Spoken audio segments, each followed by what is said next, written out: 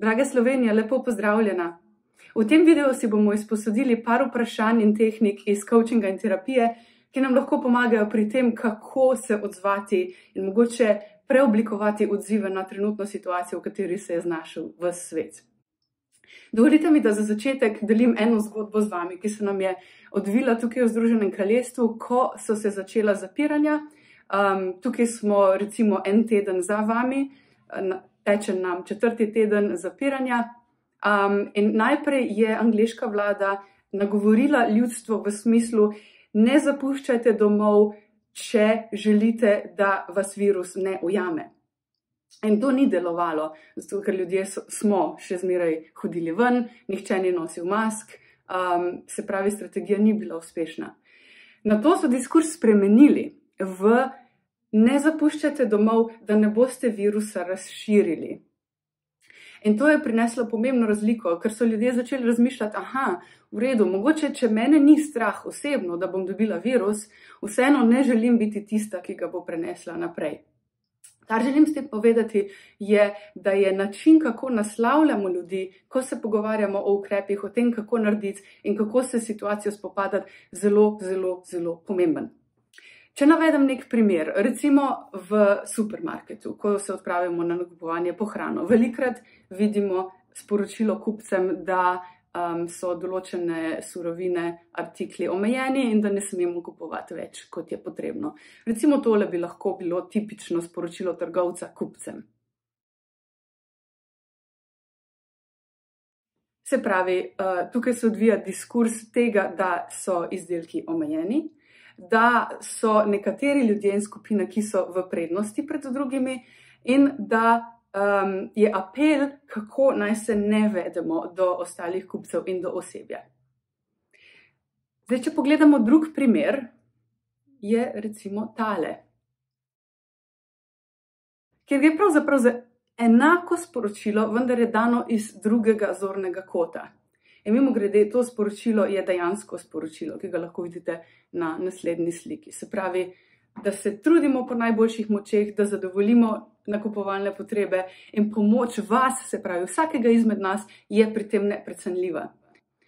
Potem naslednji apel je, da naj ne kupujemo več, kot potrebujemo, ampak ne zato, ker bi bile stvari omejene in nam ne bi dovolili oziroma privoščili nakupovanja, ampak zato, ker preprosto artikel, ki mogoče nam ni nujno potreben, nekomu drugemu je. In pa zadnje sporočilo, da prijaznost nekaj šteje in uvedevnost in ljudnost do ostalih kupcev in osebja um, lahko pomeni pomembno razliko, ker konec koncev smo v tem vsi skupaj.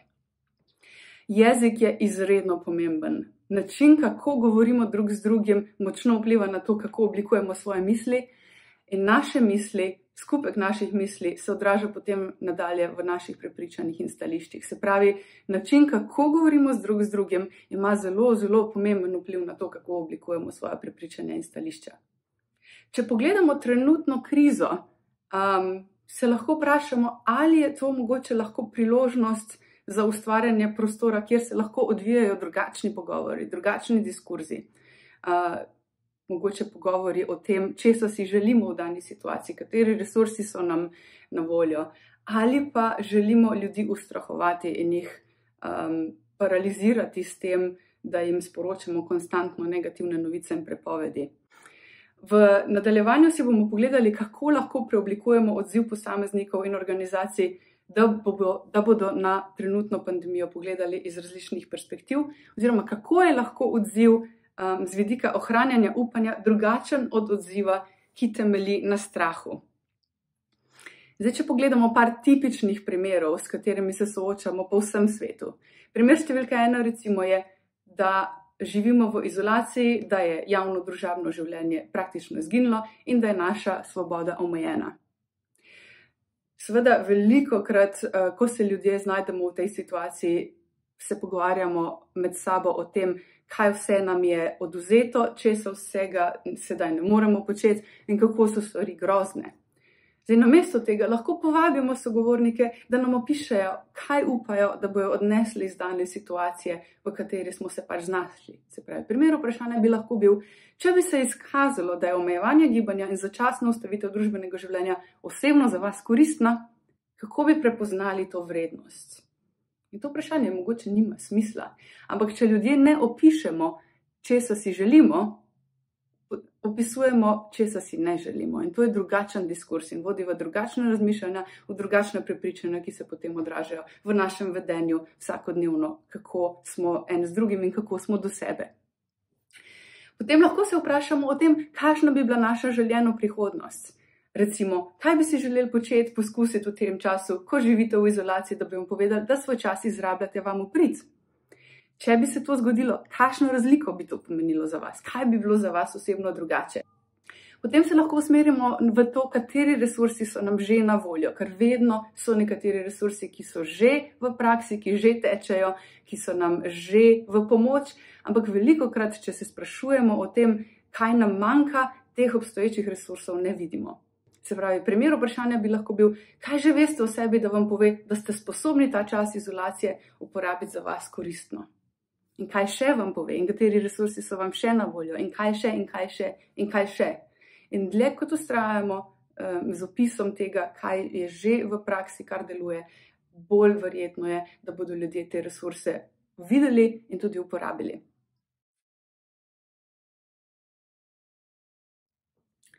Če pogledamo situacijo številka dva, kjer smo se prav tako znašli, verjetno vsi, ki delamo za organizacijo oziroma imamo svoje podjetja, um, stališče je, da se moramo prilagoditi v načinih, kako nudimo oziroma dostavljamo svoje storitve oziroma produkte. Podobno kot prej, lahko odzive na to, da se moramo prilagoditi, um, povabimo z različnimi vprašanji. Najprej o tem, kakšna je lahko naša želena prihodnost. Se pravi, recimo, kaj bi vam povedalo, da se vaša organizacija prilagaja najbolje, kar se lahko, potem kam upate, da bi takšno prilagajanje lahko vodilo za ljudi v vaši organizaciji? Kam upate, da bi uspešno prilagajanje vaše organizacije vodilo za ljudi izven organizacije, se pravi za vaše poslovne partnerje, za vaše stranke, za vaše klijente, za vaše udeležence? Kako bi oni opazili, da se vi in vaša organizacija optimalno prilagajate na dano situacijo? Potem podobno kot prej, kateri resursi so nam že na voljo. Se pravi, kaj je že na voljo, kar vam nudi možnost prilagajanja in katere nove prakse in načine kot posledico prilagajanja ste že zaznali kot dobre. Eh, Veliko krat zaznavamo stvari kot dobre šele skozi čas, oziroma se morajo stvari odviti, ampak kaj pa če recimo nekatere prakse prilagajanja, ki so nedvomno težke, oziroma niso enostavne, imajo potencial, da se razvijajo v nekaj dobrega. In seveda na to vprašanje nadaljnega razvoja, kakšna bi bila znamenja, ki bi vam povedala, da ima lahko trenutno kratkoročno prilagajanje vaše organizacije potencial za konstruktiven razvoj na dolgi rok. Kaj bi opazili v razvoju vaše organizacije, kaj bi opazili pri ljudeh v njej, v vaših timih, pri vaših vodjih, pri vaših strankah, kakšna bi bila znamenja, ki bi vam povedala, da so trenutni ukrepi, ki ste jih sprejeli, oziroma prakse, ki ste jih uvedli, mogoče pot za daljnoročni razvoj, ki vam bo pomagal pri poti naprej in nadaljnemu razvoju. Tem naslednja situacija, ki nedvomno prizadela veliko družin, je ta, da je pandemija povzročila hude finančne stiske številnim družinam. V tej situaciji se bo mogoče zdelo, da upanje in resursi ne obstajajo, zlasti, kadar družina nima več sredstev, da se prebije skozi mesec. In vseeno so lahko povabila za opis tega, kako družina že shaja, kaj že počne, katere resurse uporablja, mogoče skrite resurse, mogoče, mogoče resurse, za katere ni niti vedela, da jih ima, pomeni pomembno, pomembno razliko za to, kaj bodo storili jutri. Spravi par primerov vprašanj. Recimo, kako si želite, da bi shajali s svojimi financami skozi te nepredvidljive čase? Kaj bi opazili pri sebi, da bi bilo drugače, če bi shajali s svojimi financami, kot najbolj upate, da bi lahko? To ne pomeni, da vam bodo na voljo finance, ki jih nimate, oziroma finance, ki bi si želeli, da bi jih imeli, ampak način, kako bi si želeli, da bi shajali s tem, kar imate. Se pravi, tukaj ne gre za optimističen opis tega, kar bi se moralo zgoditi, oziroma bi si želeli, da bi se zgodilo, pa se ni, oziroma se ne bo, temveč gre za opis tega, kaj lahko v dani situaciji, kako si želite, da bi reagirali in kaj lahko storite. Če se obrnemo na resurse, kateri resursi so na voljo, vam lahko pride zelo prav vprašanje lestvice. ki gre recimo takole.